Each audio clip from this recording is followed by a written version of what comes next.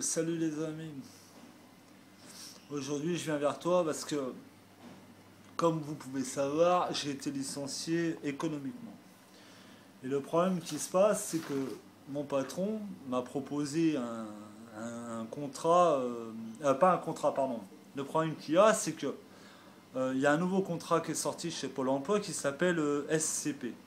Alors, le SCP, ça te permet donc de toucher 80% de ton salaire et euh, cet avantage d'avoir le SMP, euh, euh, SCP te permet aussi, par exemple, si je vais chez un autre patron et qui me payer moins cher de ce que je touchais à l'heure actuelle, eux, donc le Pôle emploi, te permet d'avoir un complément salaire pendant 12 mois. C'est pas mal, c'est une bonne idée et je trouve ça sympa. Le problème qu'il y a, c'est que euh, le 10 août, euh, non, le 7 août, pardon, mon patron me, propose, c'est la loi, donc il est obligé, vu qu'il me licencie économique, c'est la loi, donc il est obligé de me proposer ça. Il me dit, Serge, tu as 21 jours pour, pour, pour, pour, dire oui ou non pour ce CSP. CSP, ouais, c'est CSP, voilà. Donc, il m'explique ce que je viens de vous dire. J'ai fait, bon, bah écoutez, pourquoi pas, euh, ça a l'air d'être intéressant. Donc ce que je fais, euh, le 7, euh, le 7 août, il me donne ce dossier, il avait pré-rempli et tout, super sympa le patron. Hein. franchement, pour me dépanner, je lui dis, ok, moi ce que je fais, c'était un vendredi, ce que je fais, je dis, bon, bah, je vais aller le poser le... le, non, c'était un jeudi, le 7, je, le pose le 10, quoi, le 10 août. J'arrive au Pôle emploi, de là, je prends le dossier, je vais voir à l'accueil un gars, je lui dis bon voilà, euh, mon, patron m'a proposé ça, je trouve ça intéressant, moi aussi de merde, je trouve ça intéressant. Je lui dis voilà, euh, qu'est-ce qu'il faut faire? Il me dit voilà, vous signez là, vous mettez là, et puis après vous me le mettez dans la boîte à lettres, et puis euh, dans dans 8 jours, vous serez convoqué par le Pôle emploi et vous aurez une convocation, et puis bon, voilà quoi. Bon, je suis d'accord. Je pose le dossier comme, comme il me dit dans la boîte à lettres. Et euh, moi, le lendemain, je pars parce que j'étais en vacances, donc je pars, euh, je pars une semaine euh, voir des amis. tranquille, quoi, normal, quoi. Je rentre en vacances, donc je prends mes vacances, c'est tout à fait logique. Je reviens une semaine après, toujours pas de convocation dans ma boîte à lettres. Bon, je me pose pas trop de questions, je me dis qu'ils sont peut-être à la bourre, comme à Pôle emploi avec tous les chômeurs qu'il y a aujourd'hui, c'est tout à fait logique, ils sont un peu à la bourre. Bon. Deux semaines se passent, toujours rien. Bon. Moi, ce que je fais, c'est que le 24 août, ce que je fais, je reprends mon boulot normalement, sans me poser de questions, quoi. 24, 25, 26, 27, 28, 28, la patronne qui commence à me dire, euh, Serge, je comprends pas, vous avez dit oui, vous avez dit non. Moi, j'ai dit, écoutez, je, je vais bien répéter, plusieurs fois, je lui ai dit, écoutez, moi, j'ai fait ce qu'on m'a dit. C'est-à-dire, j'ai posé le dossier, signé, et je l'ai posé dans le, dans le, dans le, dans le, bah, dans, dans, la boîte à lettres de la MPE, quoi, de Pôle emploi, quoi. Et là, elle me dit, mais bah, je comprends pas, euh, parce que bon, si vous acceptez le dossier, c'est moi qui dois payer le préavis à eux, donc vous n'avez plus à travailler pour nous. Je fais, mais attendez, ça fait une semaine que je travaille pour vous, là. Et je comprends pas pourquoi vous me dites que... Elle me dit, ah bah non, mais c'est comme ça. Je fais, bah écoutez, moi, ce que je vais faire, c'est que demain, bah, je travaille pas, demain, j'y vais directement et je, et je, la situation avec eux, quoi. Mais là, ce qui se passe, c'est que le pôle emploi, euh, pourrais pas manger du sucre sur eux, mais là, ils, sont tellement débordés. Et puis, ça, le truc, c'est simple c'est qu'ils mettent des trucs, ils mettent des choses pour aider les gens, mais en fin de compte, il, faudrait d'abord qu'ils soient formés, eux. Quand, il y a des nouvelles trucs qui arrivent, il faut qu'ils soient formés.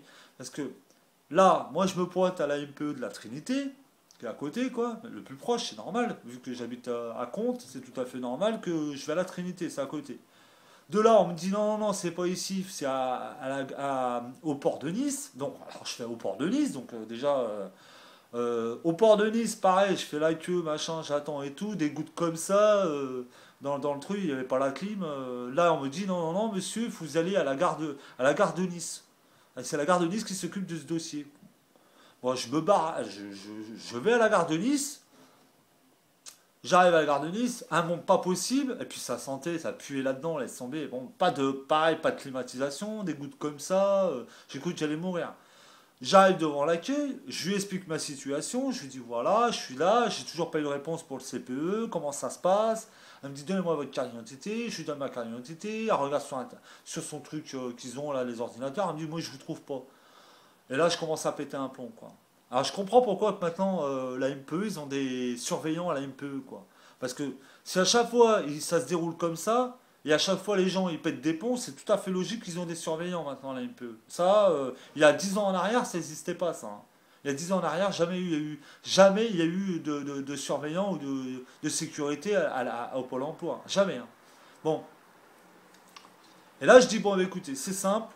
Euh, de, aller chercher un, un responsable et puis qu'on voie avec, faites-moi un papier, faites ce que vous voulez, mais moi, euh, je pars pas sans, euh, sans avoir une, réponse positive à, ma question. Quoi.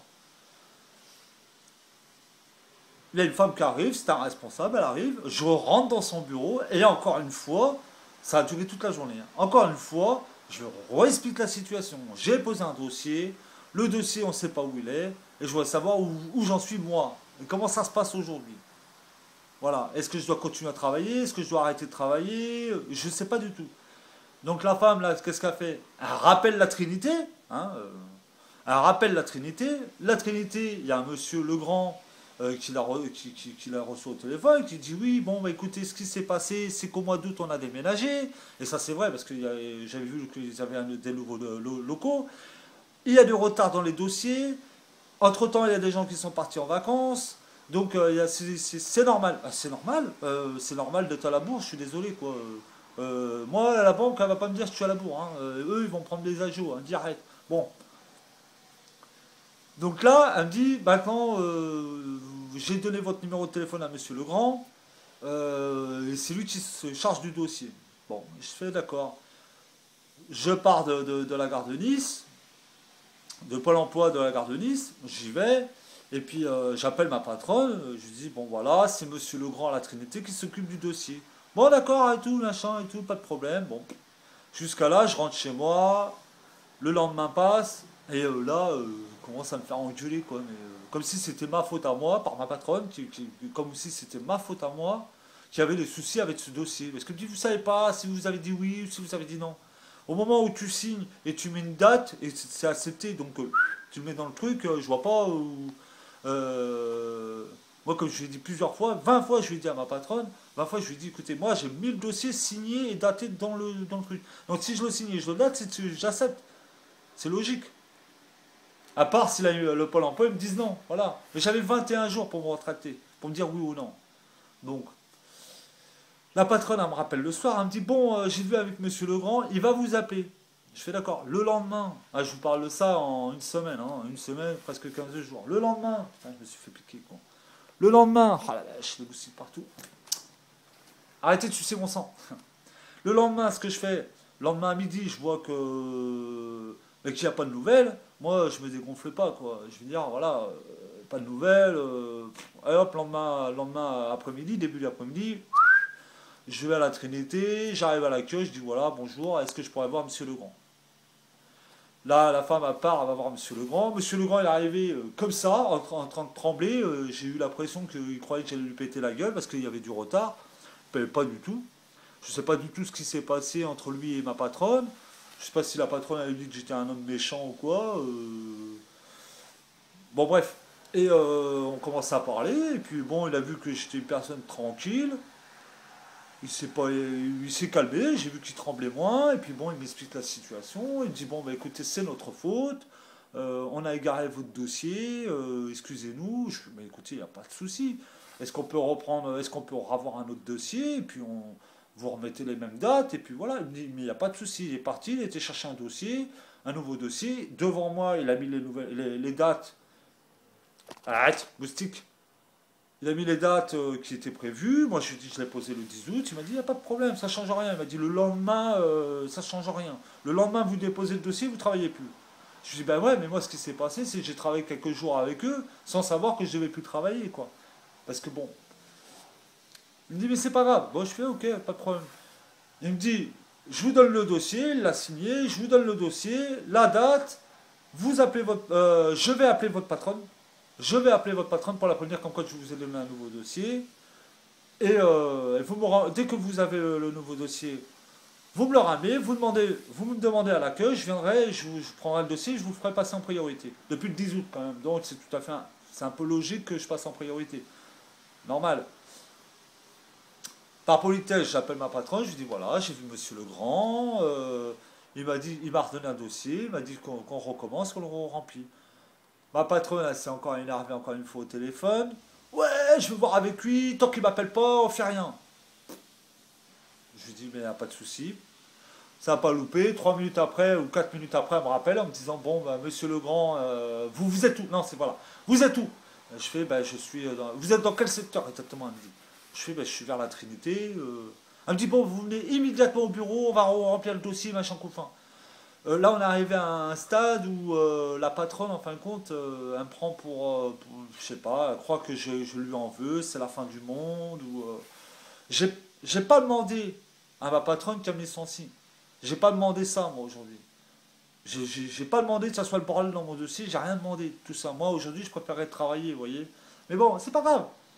Donc, elle me parle mal. dans l'après-midi, encore plus, son mari, il m'appelle. Euh, en me disant ouais vous, vous avez de la chance, euh, vous êtes qu'un abruti. Bref, euh, je me fais incendier, surtout que j'y suis pour rien dans cette histoire de dossier. Apparemment, ils sont plantés royalement. Et bon, bref. Le résultat aujourd'hui, c'est que je suis en froid, que moi j'ai rien fait, mais bon, la patronne elle est en froid avec moi. Pourquoi? Pour rien. Parce que franchement, pour rien. Et en un, en deux, on est le 4 août, 4, août, 4 euh, septembre, euh, toujours pas ma paye, toujours pas mon, solde de tout compte, toujours pas les documents pour, euh, pour pour pouvoir. hop, je t'ai eu toi. Non, il s'est échappé. Et quoi, j'ai rien en fait, vous voyez. Donc aujourd'hui, comment ça se passe? Bon, moi je vais attendre jusqu'au 10, parce qu'elle a, jusqu'au 10 pour me payer. Et si arrivé au 10, eh bien, euh, j'ai pas de, nouvelles de ma patronne et j'ai pas mon, salaire, je n'ai pas tout ce qu'elle doit me donner, eh bien, euh, on prendra le nécessaire d'aller voir les gens compétents et puis euh, ben, elle sera bien obligée ben, de me donner tout ce qu'elle me doit. Maintenant, il faut bien, il faut bien préciser la situation. Si, si vous regardez ça, patronne, c'est que moi, j'y suis pour rien. Voilà. C'est vous qui avez pris la décision de me licencier économique. C'est tout à fait normal si l'entreprise ne fonctionne plus. Je suis d'accord avec vous. Et encore une fois, c'est vous qui m'avez donné le dossier à remplir. Et encore, c'est vous qui l'avez rempli le dossier. C'est vous. Encore vous, et vous, vous, vous, toujours vous. Pas moi. Moi, j'ai juste fait ce qu'il fallait faire. Maintenant, s'il y a une erreur entre vous et la Pôle emploi, moi, je suis pour rien. Voilà comment ça se passe aujourd'hui. Je vous tiendrai au courant. Euh, ce que je vois, c'est que quand une entreprise a des problèmes d'argent, c'est pas c'est pas aux employés de, de, de, souffrir de ça quoi. Je pense qu'il y a des, des, il y a des choses qu'on peut s'arranger en France dans le sens où il y a des aides aux patrons quand ils peuvent pas payer leurs leur employés, il y a des aides. Faut faire marcher les aides et puis voilà, on n'en parle plus. Moi, je demande pas, euh, je demande pas à les embêter, mais si ça traîne trop, le problème, c'est que c'est pas eux qui vont être embêtés, c'est que c'est moi. Parce que moi, j'ai mon loyer à payer, j'ai la pension à payer pour mon fils, j'ai, je suis comme tout le monde, j'ai un crédit bagnole, machin, blabla, blabla. Voilà, je suis comme tout le monde. Donc, c'est tout à fait normal qu'on me donne mon dû. Après, euh, comme j'ai expliqué encore euh, tout à l'heure avec mon, ancien collègue, je lui ai dit, écoute, moi je veux pas d'histoire. Moi je veux juste qu'on me donne ce que j'ai à apprendre et après basta. Je ne vois pas pourquoi on s'énerve, pourquoi on me gueule et pourquoi on m'insulte. Si moi, j'ai pas mérité ça. Voilà. Voilà, voilà comment ça se passe pour moi aujourd'hui. Donc, euh, si tu en penses quelque chose, bah, dis ton opinion. Moi, personnellement, voilà, ça, ça me gave. Je sais que, bon, euh, il y a certaines personnes qui sont comme moi. Et franchement, c'est vrai que c'est un peu énervant. Et Pôle emploi, s'il vous plaît, essayez de faire les choses bien. Et quand vous prenez des jeunes stagiaires et vous les mettez derrière un guichet et que les mecs ne savent rien, mettez-les pas. Mettez un responsable qualifié avec eux pour bien leur expliquer les démarches qu'il faut faire. Parce que soi-disant que quand j'ai posé le dossier, il aurait dû me donner un document comme quoi que j'étais OK et que j'aurais dû donner à ma patronne. Voilà. Et encore plus, j'ai appris que c'était même pas à moi de donner le document, c'était à elle de l'envoyer. Voilà, vous voyez, encore plus. Bon, bref. Voilà comment ça se passe. Allez, choose. Et puis, euh, bon, bah écoutez, on verra bien. Hein.